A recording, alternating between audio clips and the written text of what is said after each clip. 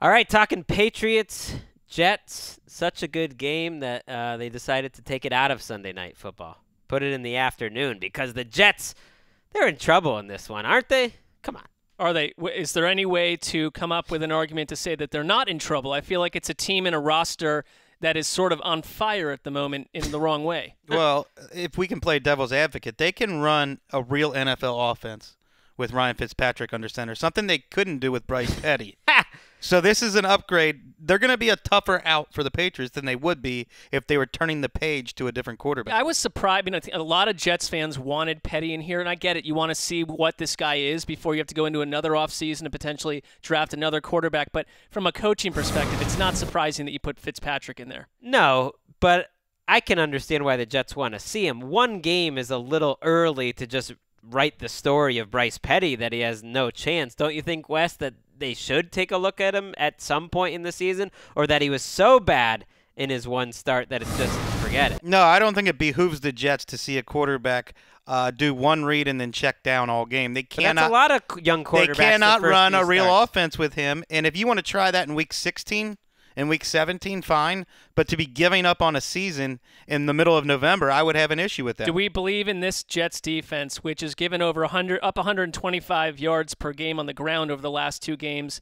Do we believe in them stopping New England on any level? I feel like no matter what you want to talk about New England's flaws, they prepare so well that they find a way to get at any defense week after week. Well, their flaws aren't on offense, and you know we'll see if Rob Gronkowski and Chris Hogan are back. That definitely is a big factor. There's no reason to think the Jets are going to slow them down. I wouldn't be surprised though if Ryan Fitzpatrick. I wouldn't be surprised at this point if any offense has a good day against the Patriots defense. I think they are really searching. They're not terrible. They're third in the league in scoring defense. So you can't say that they're a tire fire, but they're searching. Bill Belichick is changing the formula every week. Who gets snaps, who doesn't. Now Alan Branch, who's been good for them, facing a suspension. I don't trust their defense. So I think it could be close. It's a division game. One wild card for the Patriots offense, you mentioned the Jets rush defense hasn't been as good of late. We tend to think of James White and Dion Lewis as similar players. The Patriots clear, clearly trust Dion Lewis as a runner more than they trust James White as a runner. Dion Lewis was right into the mix and must good. have run six or eight times against the 49ers. Eh, which is more than James White has all year. With that said, James White has proven me wrong and uh, has proven to be a really valuable piece as a receiver was making plays for them. It just gives that offense another dimension now that you could they'll probably put white and lewis on the field at the same time. I mean you can mix those guys up a lot. It just gives them more. I wonder greg you are you follow the patriots since your childhood. The jamie collins deal went down a couple weeks ago and everyone wanted to find ways for why this made the patriots you know, a genius operation for getting rid what? of him. I heard a lot of criticism. Perhaps a little You're bit picking, of a straw man. Yeah. But I, here we are. Here we are, two two or three weeks later.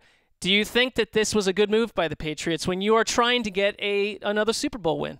No, I don't. I think you should go get the trophies while you can, right. especially when you have a 39-year-old quarterback. I, I said at the time I was befuddled, and I think the reaction of most Patriots fans and people covered in the team was at best befuddlement, and at worst it, it makes their team worse. And it's certainly played out that way. Now they're looking at Shea McClellin has come in as the guy who's probably going to replace him. It's like I think it's good for Patriots fans to be experiencing a little befuddlement. It's been a long time. it has been uh, too long. I don't think they'll have too much of it on Sunday. They take care of business against the Jets. Agree with you.